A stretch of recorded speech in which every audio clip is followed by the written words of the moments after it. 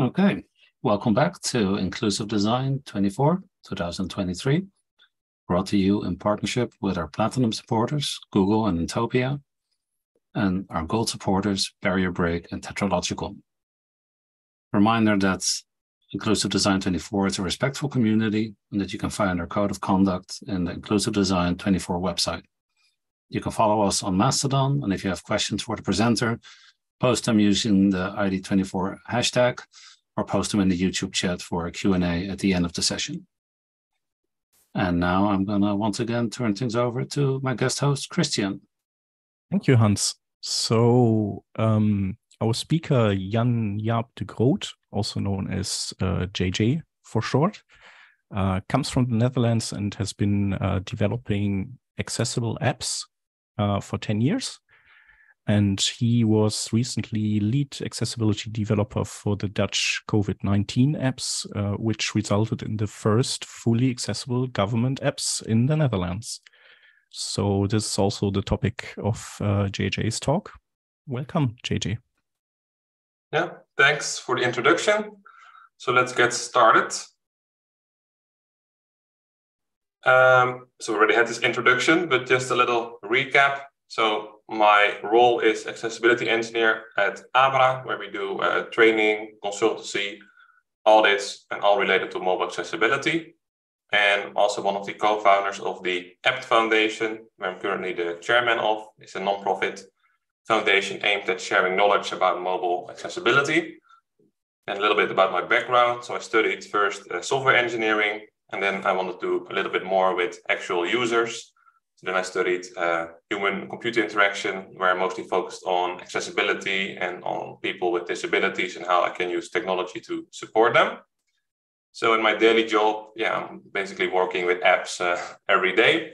So this is also the topic of the talk, and I will also do a comparison uh, between uh, accessibility of apps compared to the accessibility of websites and how the testing is really much different.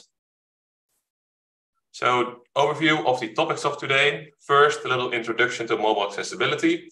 Secondly, uh, we'll be talking about manual accessibility testing of apps.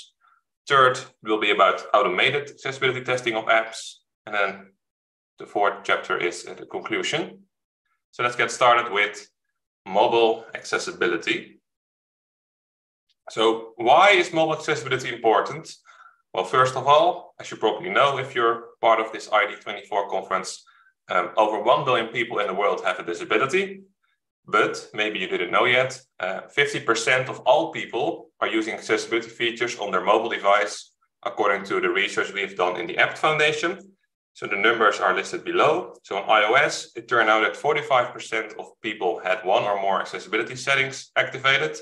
And on Android it was even more. It was 59 people that had at least one accessibility setting activated. And we measured this using like a native mobile library embedded in a couple apps. And those apps had over, I believe, 4 million users. Um, it was done in the Netherlands, so it might not be representative for your country or for the world, but it does show that much more people are actually using accessibility features than people expect. And also, well, accessibility of apps is especially important because very few apps are accessible. Um, we've also done some research for the government apps because those are now uh, mandatory to be uh, accessible. And now it has been two years since this legislation and five years since the announcement. And well, a couple months ago, only two and a half percent of the government apps were fully accessible, but they were getting more accessible. And also, I will show later uh, why it's so difficult to get an app to be fully accessible according to the legislation. Well, a little introduction. I guess for most people it's known, but maybe for those who don't know yet, um, there's different kinds of disabilities. And then on mobile devices, there's many assistive technologies available for them. So we have cognitive impairments. We have features like uh, maybe uh, text to speech and using like a dictionary hearing impairments, we have features like subtitles, mobility impairments, we have features like assistive touch, speech impairments, you know, we can type and have some other features embedded in apps. Visual impairments, we have text enlargement and also like screen readers. For impairments caused by aging, we now also have, since the newest iOS version and also on Android, like you can make apps or make your phone, uh, you know, hide some more distracting features and make it easier for people to use. And then also important to consider that there are some people that have like permanent disabilities, but also some people might have temporary disabilities or situational disabilities. So it's important to recognize that everyone at some point in their life will be disabled, whether it's you know situational, temporary, or permanently. So a little bit more about accessibility features that are, are available on apps or actually on mobile phones. And I think it's important to note the difference between desktop or laptop and like websites, because with uh, like a Mac OS or Windows, you usually have to install assistive technologies yourself. But if you compare this to mobile phones, they actually ship with accessibility features built into them. And this also makes it easier for developers to support those features because there's less difference between the kind of assistive technologies that people have, you know, installed because it's all pre-installed.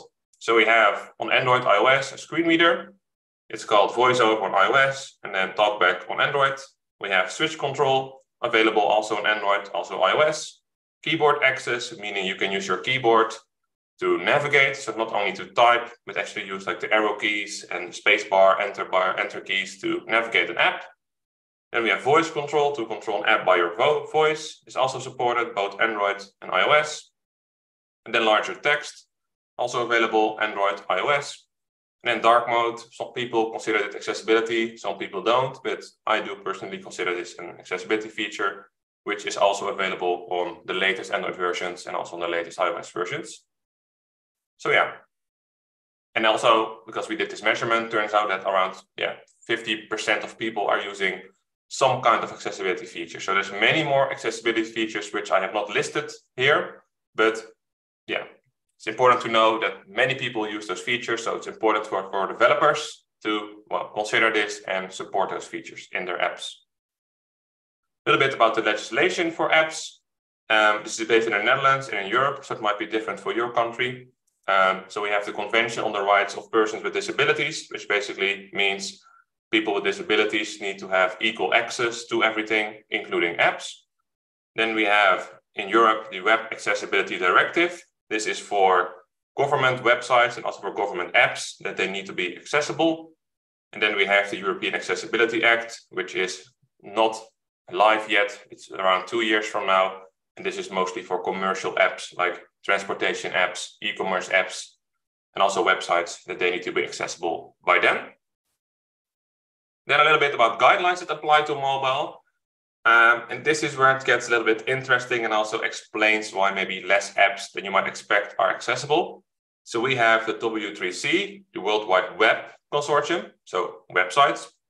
Then we have WCAG, Web Content Accessibility Guidelines, once again, web. And for apps, they need to conform to WCAG 2.1 uh, level AA, double A. So basically, we have these guidelines which are well, supposed to be like technology agnostic, but still mostly focused on websites. And we are trying to apply them to apps. But one of the biggest problems is that it can be difficult already to understand how to apply them to websites. And then when you try to apply them to apps, it gets even more confusing. So that's why the W3C also has this mobile accessibility task force, which is trying to help you know, the understanding documents, like how to apply the guidelines to apps. But still, there's one major problem, which is why also we founded the Appt Foundation. So we have Appt, and we are focusing specifically on app accessibility. And mostly what we are focusing on is like code samples, because even though there are now ways to understand how to use the guidelines for apps, if you find some app issue, how do you solve it? Because if you look at the, you know, WCAG uh, like code samples, it's all based on HTML, JavaScript, CSS, and then even, you know, like some Silverlight. Um, but there's no code samples for native iOS, for native Android, or maybe React Native or Flutter. And this is something we are trying to solve with Appt. So some of the code samples I will be referencing today are also from Appt.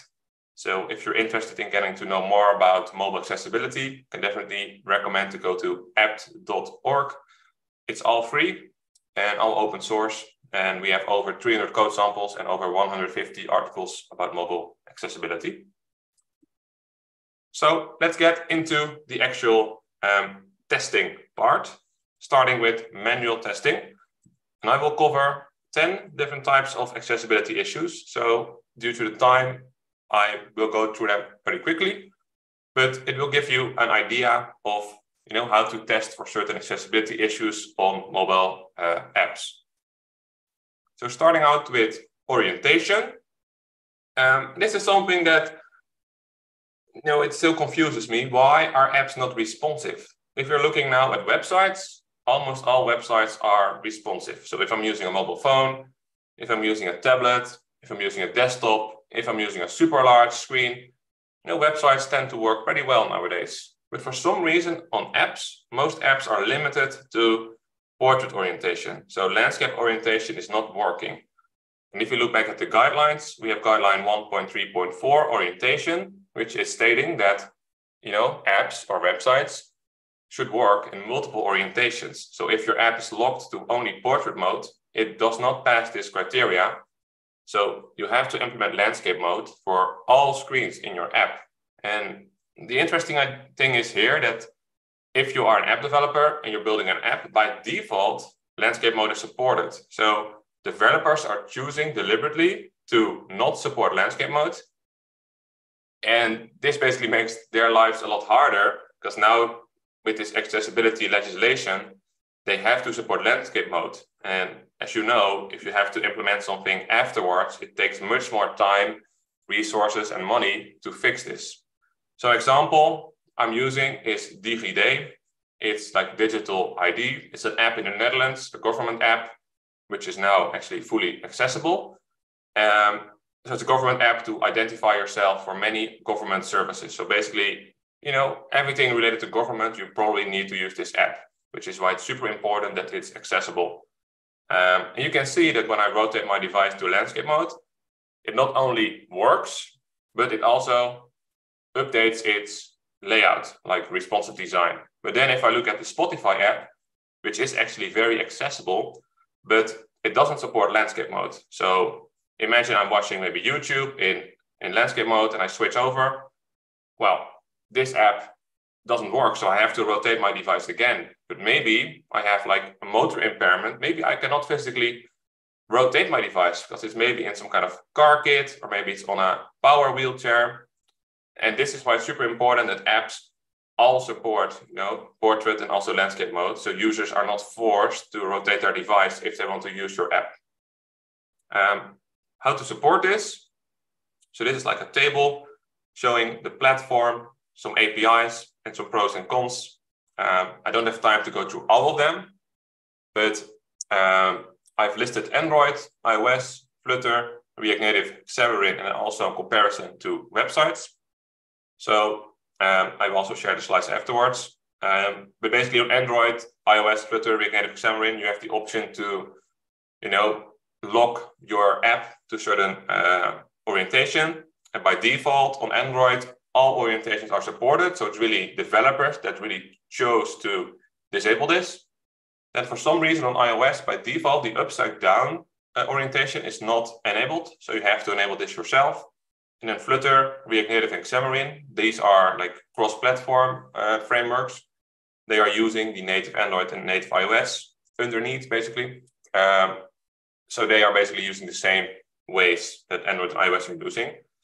And on websites, well, mostly if you want to support, you know, responsive design, you're using like a media query, which has many options, you know, like pixels or EMs or rem. So uh, websites, it's you know, a little bit ahead of apps in most ways. Well, secondly, we have text scaling.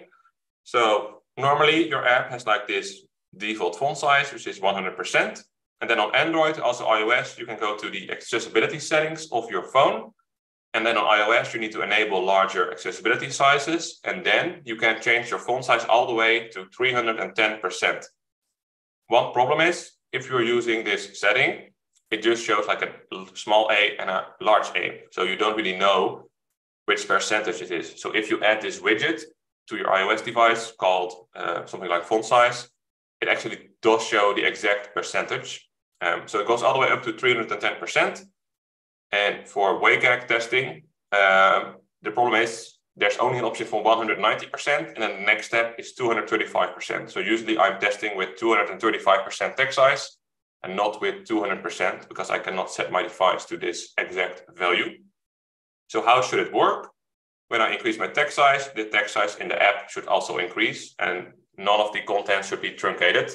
So I have an example of Zoom. So Zoom does, does actually support large font size, but then um, it only supports it to two lines. So it tells me don't connect to dot, dot, dot. And I'm really not sure what I'm not connecting to. So this is a problem because there's no way for me to get like the full information if I were using this large font size. And then also maybe to note, sometimes there's no space for large font size, which is common in apps. And then you can actually long press. So if I long press this cancel button in the top left corner of the Zoom app, it will actually show an enlarged version. And the same is for this toggle between meeting and events. Usually I can long press those elements to show like a enlarged text version. So that's different compared to websites where you usually don't have those kind of gestures built in. So looking again at the um, APIs, on Android, we have something called Scale Independent Pixels, SP, which automatically scale. It's similar to like the EM or rem unit on websites. On iOS, we have something called UI font metrics. You have to write your own implementation to scale custom fonts. If you're using the default Apple fonts, they actually scale automatically. But most apps are using custom fonts. Then on Flutter and React Native, it's both called font size, and it actually scales automatically also on iOS. So it's actually making it easier for you to also support dynamic font size on iOS. Then on Xamarin, we have this method called set enable accessibility scaling for named font sizes, a pretty long method name. And It's basically using the same method uh, as the UI font metrics on iOS. So you have to write your own implementation and Android is working automatically. Well, comparing this to websites, usually to scale fonts, you were using the rem unit or EM unit. And usually actually you're not enlarging the font size. Mostly I feel like people are using the browser zoom feature to zoom into like 200% or even larger.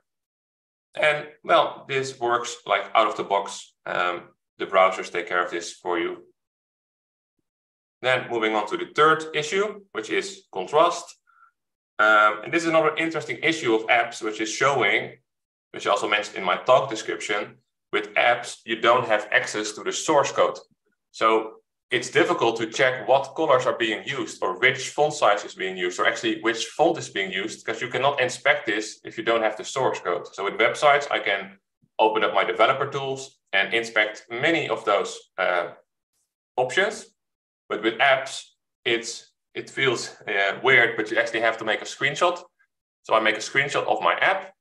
Then you can open this screenshot in like a specific color app. So there are some color contrast apps for Android and for iOS, but I usually use AirDrop or email or Google Drive or something or iCloud to share it to my computer. And then I have this app, I'm using macOS, it's called Color Slurp. And then I can pick a color and then I copy this color and I go to like WebAIM, the color contrast checker, and then fill in my foreground color, background color, and check if it passes. Which, you know, compared to websites, it's just so much slower. Because on websites, you can do like one press of the button and it, you know, checks all the contrast values for you. And another issue is when I'm checking text, I have an image in the middle, which is showing an enlarged M. It's it has multiple shades of blue. So it's quite difficult for me as an auditor to select the actual blue value that's being used. Because if I select like the darkest color, I'm getting this 4.77 to 1 contrast ratio. If I'm selecting one of the lighter colors, I'm getting like a 2.96 contrast ratio. So which color is being used in the code? You know, with normally with CSS, like you can inspect this, get the exact color code, and make a check. But with apps, this can be difficult, especially with text. For example, this button, there's also an orange button. This is really easy to pick the color because it's a solid orange color. So I can be quite certain to pick the right color. But even then, due to compression of screenshots and also due to sharing them maybe as JPEG instead of PNG, it's not like a lossless file. Some colors get changed, or maybe my Mac has different color options. So with apps, yeah, sometimes it can be difficult to really judge if a color has enough contrast or not. So usually I have to ask the developers of the app or the designers, like what colors are being used in your app. And even then, sometimes the designers tell some colors are being used and then somehow the developers are using a different color. So I still have to check and make sure it's okay. But this really shows that something simple like color contrast checking is difficult. And then another problem on Android is if you're checking an Android app, some Android apps have like screenshots disabled. So it's an Android feature. You can disable screenshots. Mostly banking apps have this disabled and other like financial apps. And then it's not possible to take a screenshot and it's not possible to, you know, work around this. So using those apps, you cannot make a screenshot and not check the color contrast. Um, so just showing some issues with apps, you know, your life as an auditor is definitely more uh, difficult compared to websites. But for apps, you can make like a separate version, just like websites. You, you can maybe audit on a subdomain. So with apps, you can also make a, a you know special version, like a developer version or beta version, which does not have this flag to disable screenshots. And then I can use this version to actually extract the color codes. Or sometimes you can ask for the source code. Usually companies don't give this, but you can try. Uh, will be easier to check uh, the actual source code. Then contrast. Uh, the APIs, it's quite funny to me or interesting. All the APIs are named color. So I'm using like the US names.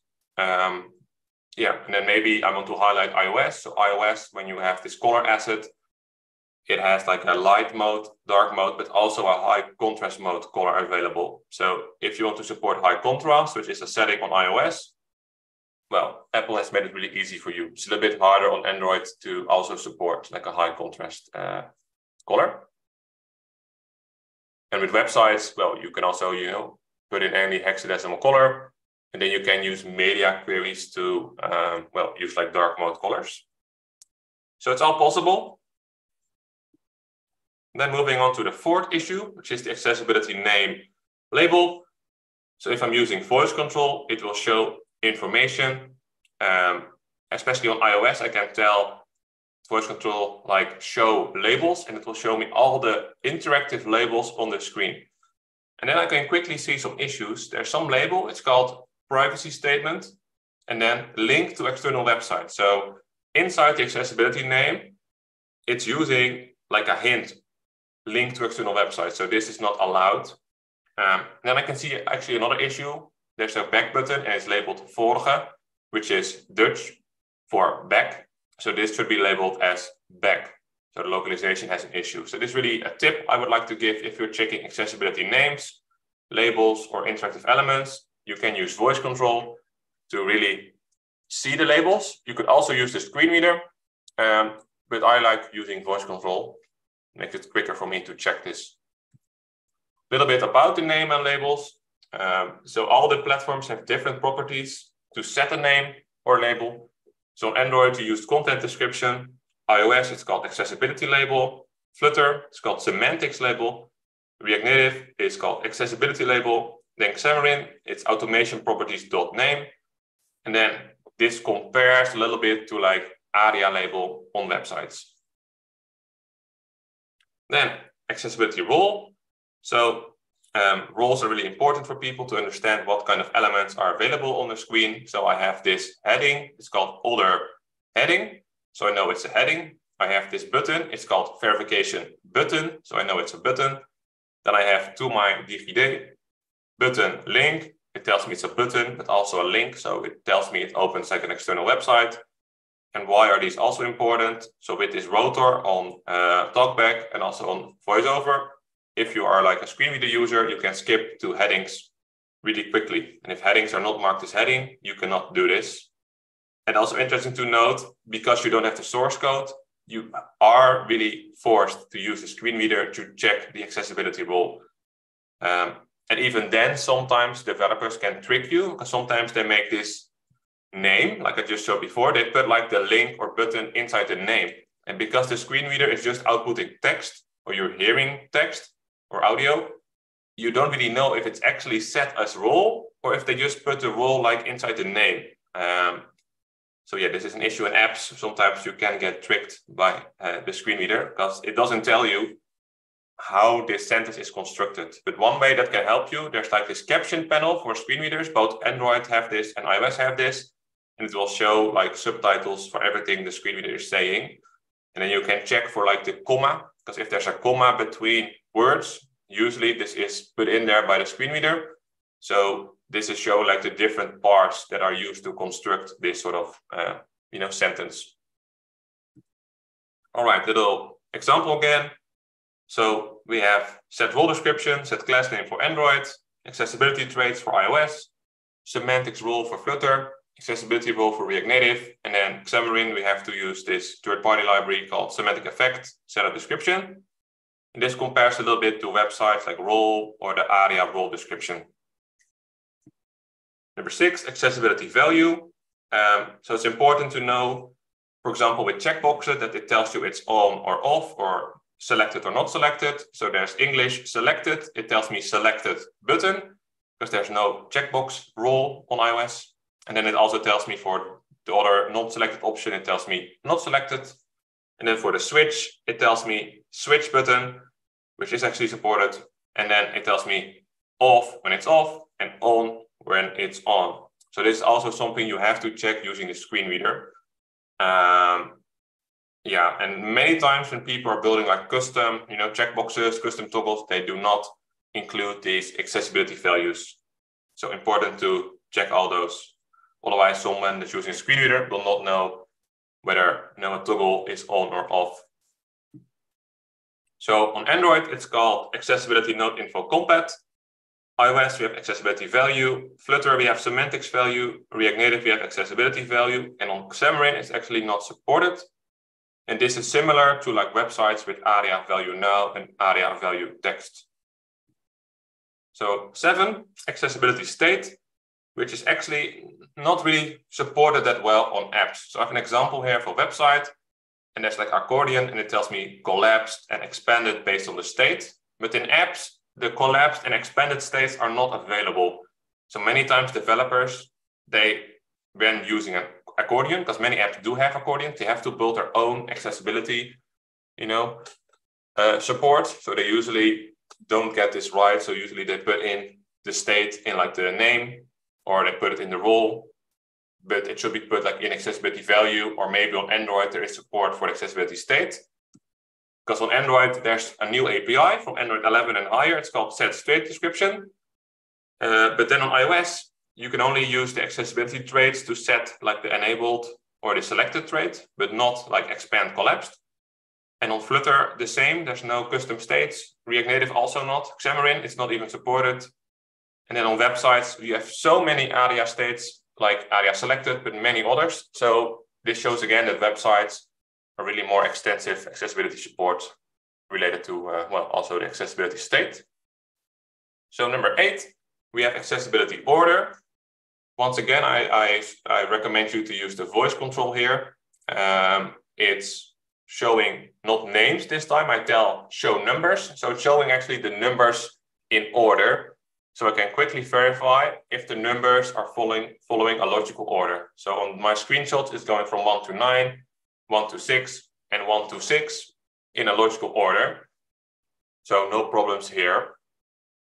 And you can also use the screen reader to also you know swipe left, swipe right all the way and check how the focus moves through the through your app. So this is similar to how it works when auditing a website. Um, so on Android, we have two APIs, set accessibility traversal before and after to adjust the normal uh, focus order. On iOS, we have a property called accessibility elements to also set the order that assistive technology should follow on Flutter, we have semantic sort key to also make a sort order of how uh, someone should go through your app. React Native is actually not supported. You cannot adjust accessibility order, which is a problem. And on Xamarin, we have something called tab index and is tab stop. And this compares to like tab index on websites. So it's interesting to know that yeah, React Native is really a uh, big framework for using a you know, building apps and it doesn't support changing the accessibility order, which is really, uh, you know, a problem. Maybe it's supported by now, but last time I checked, it was not supported. Number nine, accessibility focus change. So we have um, an app which is showing a PIN code. And whenever I enter my PIN code, I enter my five digit. automatically I can force my focus to move to like the next screen or move to a different element. And the same when I'm scanning like a QR code. Whenever I scan a QR code, it will automatically maybe go to the next screen or maybe move the focus. So this is something you can also do on websites showing like a modal or you know automatically moving the focus to input fields. Um, so how to verify this? Once again, you can use the screen reader and you can see what happens whenever you input uh, data. And then on Android, you can send an event called type view focused. On iOS, you can send a notification, screen change or layout change. Then on Flutter, also really large framework, but it doesn't support to manually change the accessibility focus, but you can build your own uh, you know, extension, but it's not like a first party support. React Native, it does have set accessibility focus. And then on Xamarin, you also have to use a third party library to move focus. And this is similar to, I would say, like the tab index on websites and the focus, like JavaScript method to force focus on a certain element. Then number 10, we have the accessibility status messages. So those are announced by screen readers. So you have to enable a screen reader to check if any status messages are being shown. So for example, in this app, I'm entering my PIN code and it shows a loading icon. Then this loading icon is shown visually. So it should also be indicated to people who are using a screen reader. So whenever I enable my screen reader, it actually tells me one moment, please, which is telling me that it's in a loading state. And the same is for when I'm entering my PIN code. So I'm entering my PIN code and I get an error message. So this error message should be announced because it's shown visually, the screen has changed. And it tells me the PIN code is incorrect. You have two attempts left. So even though the focus is like on this zero button, so this is also similar to how you would test uh, a website. Um, and then there's support for all platforms. So Android has type announcement, iOS has also an announcement, Flutter, React Native, and Xamarin all use like semantic service announce. Uh, so you can announce status messages for all major platforms. And this is similar to like websites with ARIA Live. Um, so ARIA Live, I don't know, when I use it, it's a little bit tricky. Sometimes it doesn't work like you want it to work.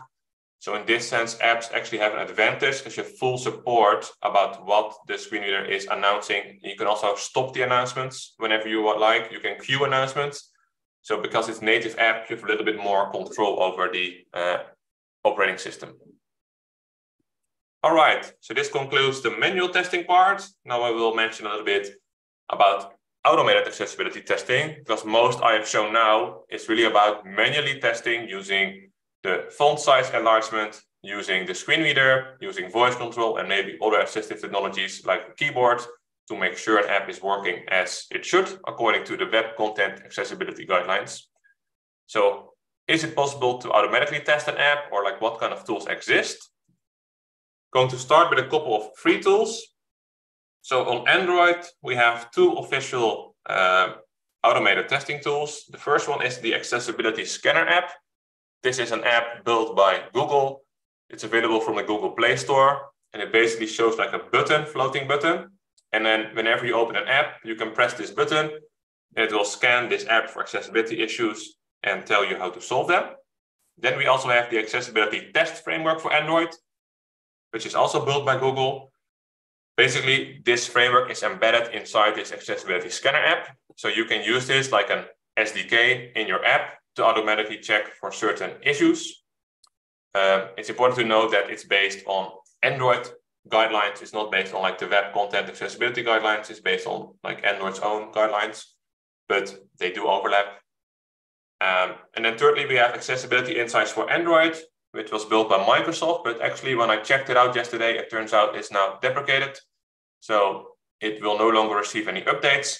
So this is or was a tool um, desktop app where you could also inspect like uh, your Android app for accessibility issues. Then on iOS, we have tools built by Apple. We have the Xcode Accessibility Inspector, which has been there for a couple of years to inspect any iOS app. So you can install Xcode, open this tool, and you can inspect for any accessibility issues and also perform like an audit. So it also checks, you know, based on Apple's guidelines, not on the WCAG.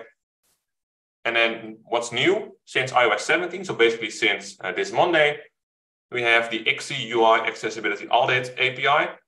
so using this, you can check for, I believe, like 10 different kinds of accessibility uh, issues in your app automatically. So it's like an SDK, like an API. So this is really nice. Um, so it's interesting that both Apple and Google have like this inspector apps, and then they have also the logic behind this embedded in like an API or framework. Um, and then thirdly, we have Accessibility Snapshot, which is a third-party library built by Cash App. And they uh, basically use this snapshot testing, which is a way of testing, like regression testing in iOS. And they basically compare, uh, you know, different screenshots of the accessibility tree and check if there are any, you know, changes. Then if you go to appt.org, there's an article about automated accessibility testing tools. So there's more free tools available. Um, so all these are actually links. So if you would like to receive the slides, um, you can also open all those links. Moving on to paid tools. So we have the axe DevTools mobile, uh, which is built by Deque. So axe, you probably know it from uh, axe for websites. So they also have tooling for mobile. Um, they have something new called axe DevTools Mobile Analyzer, which is uh, like a solution which doesn't need the source code of the app. So you can use it to inspect any app. I haven't used it myself, but it's supposed to uh, check any app for accessibility issues. You also have axe DevTools mobile SDKs, which are like SDKs, which are actually using the web content accessibility guidelines to check for issues automatically. I also haven't used this, but well, I have used axe Web, so it's probably uh, also good. Then we have Evinced. So Evinced is like a new uh, player in sort of the mobile accessibility space. They also have like a mobile flow analyzer to check your app for any issues for both Android and iOS, as far as I know. And they also have SDKs, which can also detect issues automatically. Um, Evinced and, and, and axe are mostly focused on like larger corporate companies. And then we have Reveal, which is um, focused on only iOS, not on Android. And they have something new called Reveal Accessibility Workspace, which also allows you to inspect apps like iOS apps and then check kind of what values are being used. So for Reveal, you need access to the source code. For Evinced SDK and the axe SDK, you also need access to the source code. So as an auditor, you are not able to use these, but you can use like the mobile analyzers um, without source code. And then also on Appt, there's an article with more paid tools. Actually, right now, I don't think there's any more paid tools, but maybe in the future, uh, there will be, or if you are actually uh, a developer which has a free tool or paid tool for mobile accessibility, please let me know so we can update the article on Appt. Lastly, little sneak preview of something we are working on. Uh, so we are working on Abra AI, which is going to be a tool to automatically check accessibility of any app. Basically, you just provide us with the app and we check it automatically. Then we are working on Abra Desktop, which I'm showing a screenshot of, which is a tool to sort of explore the accessibility of your app in 3D and also showing all the properties on the right hand side. So it works like connect your Android device, connect your iOS device, then select it from the dropdown. It will extract all the apps installed on your device and it will show this also in the dropdown. And then you select one of those apps, you press the play button and it will start debugging the accessibility uh, information in like a 3D interactive uh, way. You can select elements and then check all the properties. So like I mentioned, with screen readers, it can be quite difficult to know like what properties is it using to speak. And with this desktop debugger, I can see exactly what kind of accessibility data is available for a certain screen or certain element. So it's really useful for me. I'm already using this in my uh, like audit uh, audits. So yeah, quite useful tool. And we're also working on an SDK. So if you're interested in any of these tools, um, visit abra.ai. You can sign up for our sort of newsletter and get uh, beta access when we go live. So this um, concludes my talk. So what is actually my conclusion? Um, so native mobile accessibility versus web accessibility. Um, I think I've told lots of information, maybe a little bit too much if you're not, you know, familiar with apps. But to conclude, like so websites, it definitely have a head start compared to apps. I mean, websites have existed for many more years compared to apps. Apps are basically like a little over 10 years old. So it's still relatively young. Um, apps are evolving, apps are catching up, but websites has so many more tooling and so many more documentation, so many more code samples, so many more guidelines. So apps, you know, it's not on the same level yet. And then another problem is that the accessibility guidelines have not been written specifically for apps. So now in the Dutch legislation, in the European legislation, but also in like the US legislation with Section 508, um, it's all referring to the web content accessibility guidelines for apps, even though it can be really difficult to apply them to apps. And even though there are like no code samples to actually fix issues whenever you find one. So this is a big issue. Then apps have less tools for automated and also for manual accessibility testing, like contrast checkers and all those sort of web extensions that exist. Those are really not available for apps. So it's much more about manual testing much less about like automatically testing like contrast issues and other issues. Then app source code, it cannot be inspected unlike websites. So whenever I want to check like a color code, I cannot do this. Whenever I want to check, is it using ARIA label? Is it using something else? I cannot do this. I have to use the screen reader or use like, you know, one of those tools like I mentioned that actually, you know, extract accessibility data from your phone. And then lastly, well, mobile devices have accessibility features built in versus user installed. So it's important to note, you know, you can really use the built-in accessibility features, which is making it easier to start because you don't need to pay for like an expensive screen reader and expensive voice control software. You can just use the built-in features to audit an app. Just get a phone, you're basically ready to go. All right, that concludes my talk. If there are any questions, feel free to ask them now. You can also send me an email if you want to get the slides or maybe they will be published. Also, uh, my email is janja at abra.nl. I'm also on Twitter or X um, at Jan-Jaap de Groot and also on LinkedIn, well, also my full name.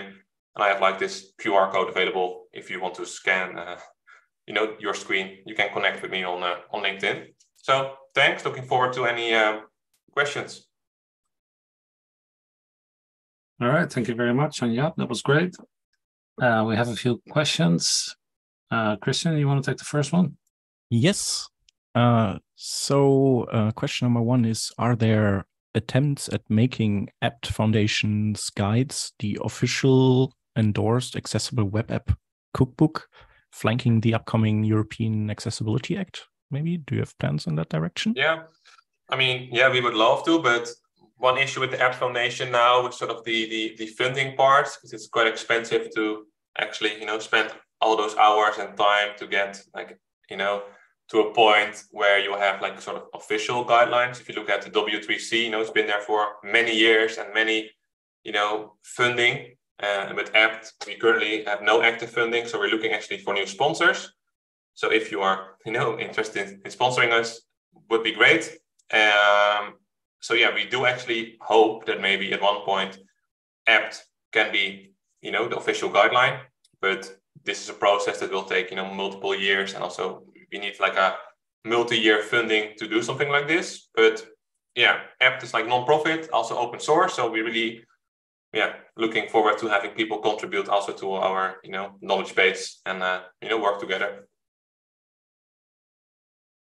Thank you. Um, you had a um, there's a question about something that you said about that link that uh, points to an external website, and you said that that hint in the in the accessible name wasn't allowed.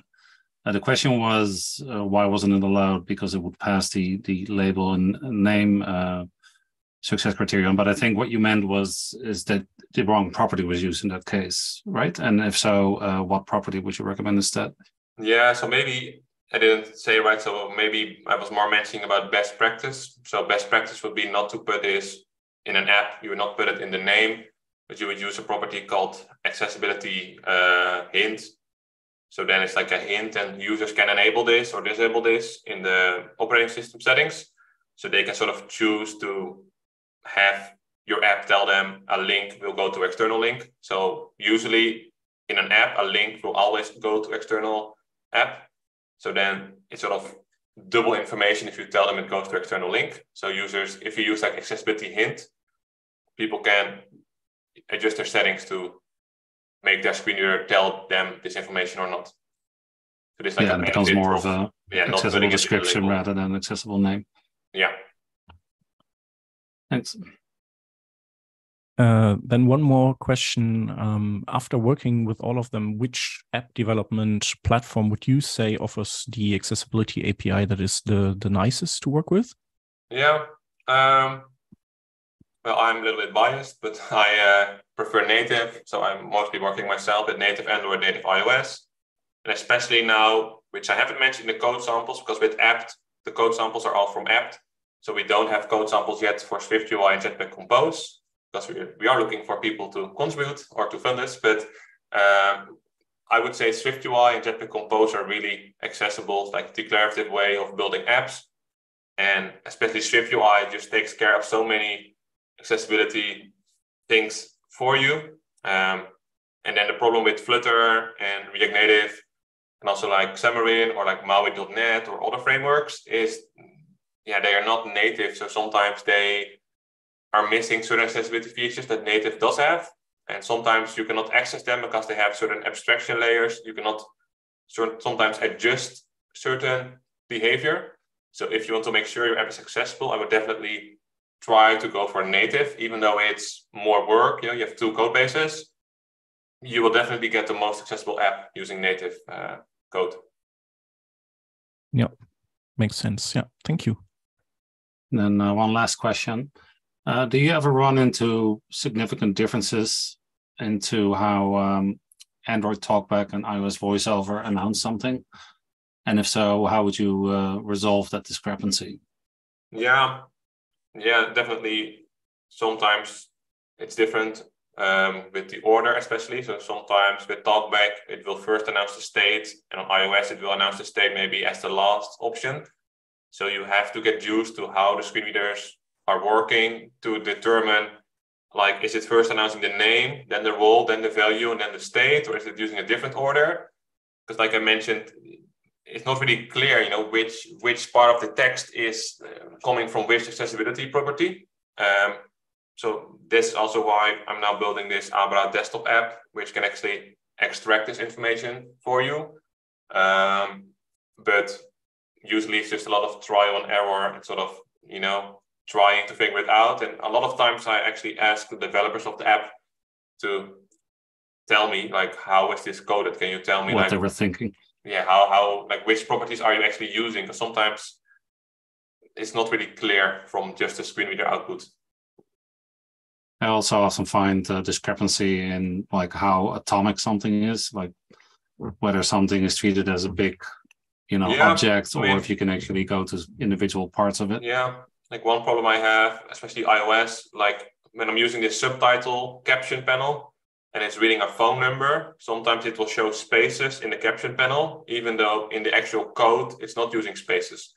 So sometimes the screen reader is sort of modifying the properties and you don't know if it's actually done on purpose by developers to announce phone numbers like one by one, the numbers, instead of having like a large number announced? Uh, or is it actually Apple that's doing like this iOS screen reader logic that transforms like phone numbers or links? So yeah, there's definitely uh, you have to get used to like you have to get used to how the screen readers work internally to sort of understand you know the output. Yeah, especially with financial data that sometimes they'll truncate numerical values that are actually yeah. important or they think something is an abbreviation and they'll just say some random word that has nothing to do with you know the actual string of text there. Yeah, so I've seen it like a lot of fun. So sometimes I have this like this pound symbol or this euro symbol, and sometimes it shows this symbol in the caption panel, but sometimes it shows like euro as text. So then I'm not sure like did the developers change like the euro sign to like euro text for screen readers, or is Apple doing some transformation or talkback? So this is yeah, sometimes you really have to ask the developers like how is it done in the code right all right well that was the last question. So thank you very much again. Um, we're going to wrap up this session and make space for the next one. Uh, if you like this session hit the youtube like button. Don't forget that you can subscribe to youtube.com slash inclusive design 24 uh, to be kept in the loop of our future events. Inclusive Design 24 is brought to you with thanks to our supporters. Google, Intopia, Barrier Break, Tetralogical, Intuit, Infoexia, and the law offices of Lainey Feingold. We'll be back at the hour for our next session. See you then, and thank you again, Jan Jaap.